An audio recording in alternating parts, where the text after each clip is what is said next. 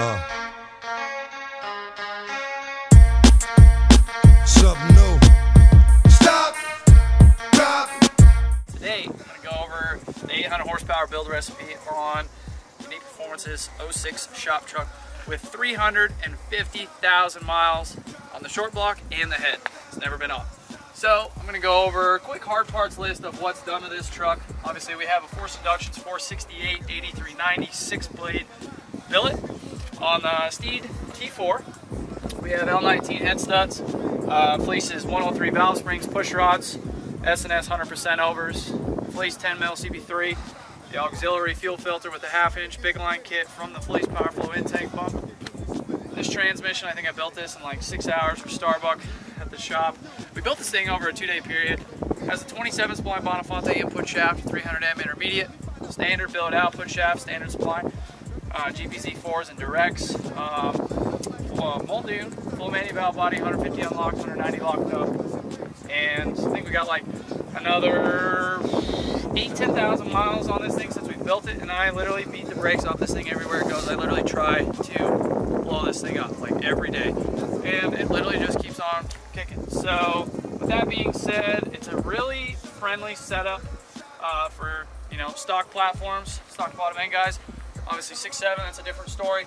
But 5'9", I mean, you can drive this thing anywhere. 20 miles a gallon, it's pretty fun. But I just wanted to give you a quick breakdown before we go do uh, hood rat burnouts and listen to Motley Crue. So. Yeah, I know it's pitiful. That's how niggas get down. Watch my niggas spit round. They got niggas kiss ground. Just for talking shit, clowns. Oh, you think it's funny? Then you don't know me, money.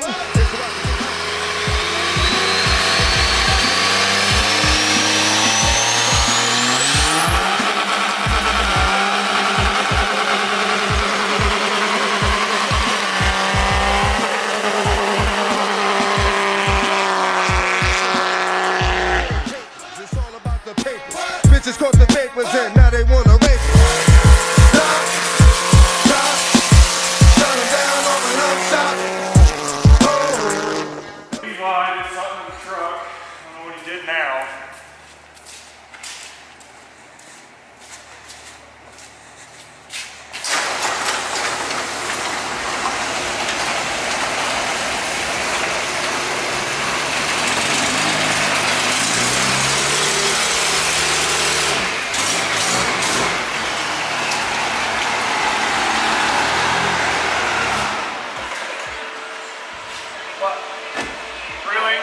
What? Oh, we can't have nice things. I think I broke something.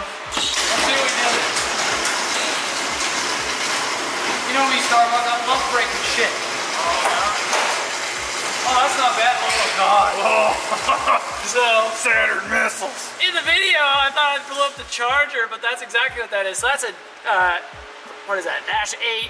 That was a Dash 8. NPT plug. NPT, yeah, Dash 8 MPT plug.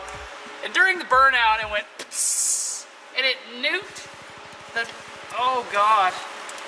Oh, it nuked the plastic above it. So that was probably shooting out flames hotter than Jesus can throw fire.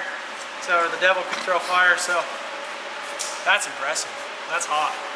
But hey, still, still got the rods in it. So see what we can do next week with it. On this episode, I'm gonna send my rods through the block. Think I can pull the rods out of the block there, Starbucks? No, What? no, Oh, I will. No. Why not? Because no, you don't need no more engines. Why? I'm just saying I can blow this thing up, right? Maybe. It's a 5.9. It'll live forever. Anyways, so